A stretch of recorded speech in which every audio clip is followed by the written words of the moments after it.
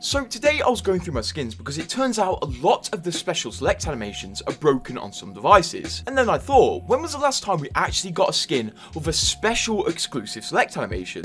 And it turns out it was 8 months ago with the Lifeline story from the Outlands where she does that heist. Because Respawn released this version of Lifeline. The thing is, it was 8 months ago that this story from the Outlands came out. We are well overdue for a new one, and also, as pointed out by Joke, with a new skin to go along with it, with a special select animation. But now, actually thanks to some information we heard, we know the next potential date for one of these, and it's only a few days away. Because you may know there's like a 70% chance that one of these stories from the Outlands comes with a town takeover. Because Pathfinder, Lifeline, Bloodhound, and Wraith had a town takeover that released with their story from the Outlands. And the next person we have a town takeover due for happens to be Wattson. And as some of you may know, this town takeover has been data mined and is due to release in a few weeks in the place of Lightning Rod on Stormpoint. Now, this isn't exactly confirming she's going to get a skin and story from the Outlands from this, but it makes her the most likely candidate at the minute. And because the last one was eight months ago, I really wouldn't doubt it. And also, we didn't get a new story from the Outlands at the start of this season because we didn't get a new legend, which was quite sad. So hopefully hopefully